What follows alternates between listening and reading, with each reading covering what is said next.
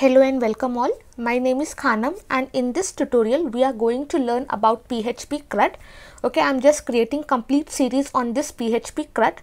Okay, CRUD C stands for create, R stands for read, U stands for update and D stands for delete. Okay, in this series we are going to learn completely about how to create database, how to read data from the database, how to update the data and how to delete the data from the database and also we will see how to insert the data into database how to insert checkboxes data how to insert select data options. Okay we are going to learn completely about this in particular series. This will be my first video in this php crud series. In this we are going to see how to create database and also we are going to design our form.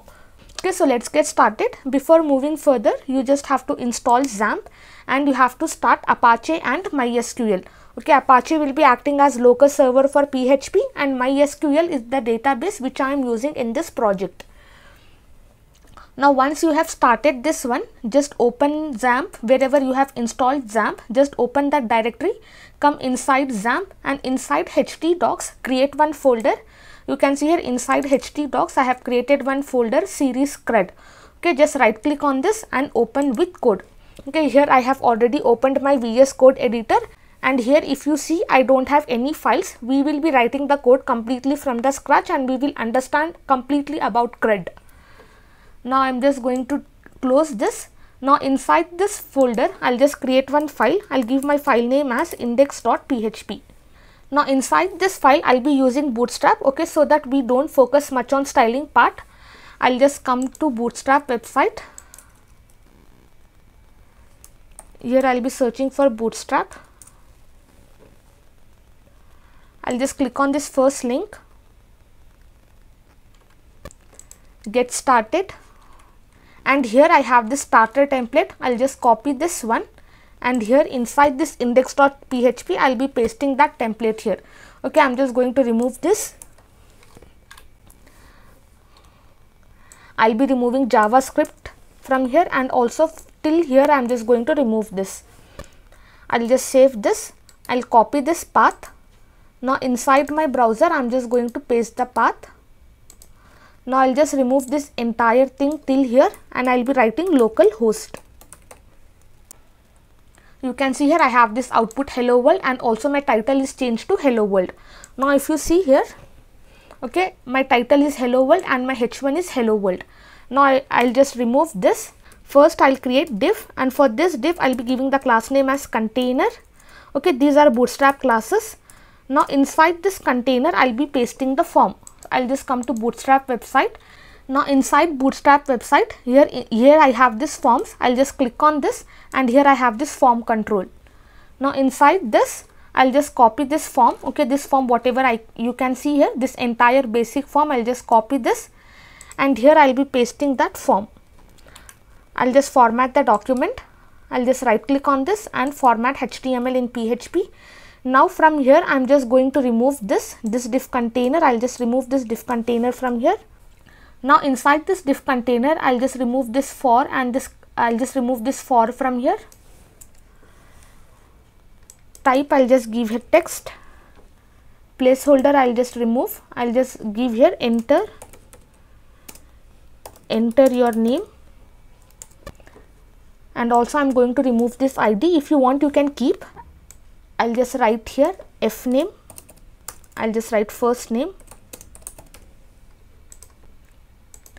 Enter your first name. I'll just save this. Now if I show you the output you can see here I'll be having this first name label and I have this input field here. Now for this container I'm just going to give some margin from top and bottom. I'll just give m my5 I'll just refresh this. Now here I have this form now in the same way I am just going to copy this entire container and here I will be pasting that container 1, 2, 3, 4 times I will be pasting. Instead of first I will just give here last, type text and here also I will be giving last. Here I will just give email. Instead of text I will be giving email and also here I will be giving email. I will just remove this and here I will just give email. Now here I will be giving mobile here also I will give mobile. And here also I will be giving mobile. now I'll just remove this. I'll save this. Now if I just refresh this you can see I have this first name last name email and mobile. I'll just come and I'll change to capital L I'll save this. Now below this I want one button. So here I'll be creating button. And for this button I'll be giving the class name btn btn I'll just give here btn dark. And inside this I'll just give the text as submit. I'll save this. Now if I just show you the output you can see I have my button here. For this I'm just going to give one more class. I'll be giving btn lg so that I'll be getting larger button. Now if I refresh this one you can see my button is larger now and also I'll be giving margin margin from top and bottom. I'll just give m by 3 I'll just refresh this. Now here I have this button. I have this first name last name email mobile and submit button. Okay this is the basic form. In this series now we are going to update this one. We will be adding some more fields. Like we will be adding gender. We will be adding how to insert the data of checkbox value how to insert the data of select value. Okay we are going to learn one by one now this is the basic setup. First we will understand this one and then in series we are going to learn that one. Now once i am done with this setup i am just going to create database. Okay just type php localhost phpMyAdmin and you will be redirected to this phpMyAdmin dashboard. I'll just click on new. On my left side i have new. Just click on that. Here i'll give the database name as crud series. I'll just create you can see here my CRUD series database has been created. Now inside this I'll be creating table. I'll give my table name as series CRUD. Okay, I'm just reversing the database name and here number of columns. Here if you see I have first name, last name, email, mobile, total 4 columns. But here I should be inserting 5 because for ID also I need one particular column. So here I'll be giving 5. I'll just click on go. Now here I'll be having the structure of table. First I'll just give ID. Second I'll be giving first name. I'll just give F name here I'll be giving L name that is that stands for my last name. Next I have email. Next I have email and finally I have mobile. Here I'll just give email and here I'll be giving mobile. Okay, this is the structure. Okay, these are my column names and here I'll just give the data types. For F name I'll be giving varchar. For L name last name I'll be giving varchar. Pa email also I'll be giving varchar and mobile I'll give varchar. Now length I am going to give 100 for my first name, 100 for my last name, email I will give 255 and mobile I will just give 20. Okay, these are the lengths. By default if you do not give length for integer it will be 11. I will just come here, here AI you can see here AI, AI stands for auto increment. I will just click on this and this will be assigned primary okay which means that each time I do not have to insert ID value it will be assigned automatically and it is going to increase by 1 once I get this primary key which means that my ID value is unique in this entire database. Okay, this is the table structure. I have just created five fields here ID, F name, L name, email and mobile. I have just changed the data types. I have given the length and I have just given auto increment to my ID field which means that I am just telling that it is the primary key. Now here I you will be having this save. Just click on this save and your table will be created. Now you can see here I have this table structure. I have this ID, name, L name, email and mobile. Okay, for integer you can see by default I am having the size as 11 and this key what you can see is which means that it is the primary key. Now here I have all these fields with the data type and length. Okay, now we are done with creating our database and also we have created the table. Now we will see how to connect to our database. Now here I'll just create one file. I'll give my file name as connect connect.php. Now inside this file first I'll open this PHP syntax and here I'll be closing this one. Here I'll just create one variable. I'll give my variable name as connection that is con. Now you can give any variable name. Here I'll just give this MySQLi connect and inside this first I'll be giving this localhost that is my server localhost here I'll be giving root that is my username and password by default it will be empty if you have not changed your password while you are installing XAMPP. But here I have changed my password so I am just giving the password.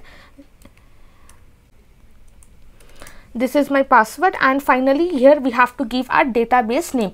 Okay my database name is you can see here i have this crud series. I'll just write the database name crud series.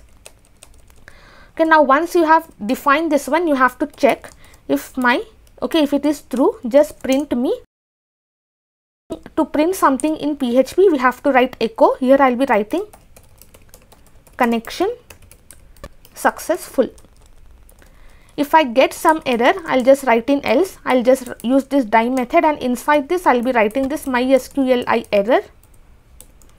And inside this I'm just going to pass the error, error. And here I'll just write this connection variable, dollar con. I'll just change my password. This is not my password. At hash 1212. I'll save this. Now I'll just copy this path now in my browser I'll just open new tab and here I'll just paste that one and from here I'm just going to remove this and here I'll just give here localhost. If I get this one, okay, if I get this connection successful, this echo, which means that I am successfully connected to my database and I am ready to insert, update, delete, whatever I have the data inside the database, I am ready to do all the operations. Okay, if I don't connect to my database, here I am just throwing an error and it will show me an error now I'll just refresh this one oh sorry I'll just paste that link here and here I'll just write here localhost I'll enter. You can see I got this output connection successful which means that I am successfully connected to my database. Now in place of this okay if I just remove something from here if I'll just give here ROT I'll refresh this. Now you can see I'll be getting this error. You can see here the root localhost using password is okay this error you will be getting so to avoid these errors, you should be very specific with this. Okay, you should write correct data here, localhost root. If you have not given any password, if you have not changed your password, then it will be empty. You don't have to write anything inside this password. I have changed my password, so I am just writing my password here and this is my database name. Okay, here I am just checking that condition and I got this output. Now if I just refresh this, I will be getting connection successful. Now in our next tutorial, we are going to see how to include this connect.php inside index.php and also how to insert the data inside the database. Okay, now that's all for today's tutorial. Thank you so much for listening. Have a great day.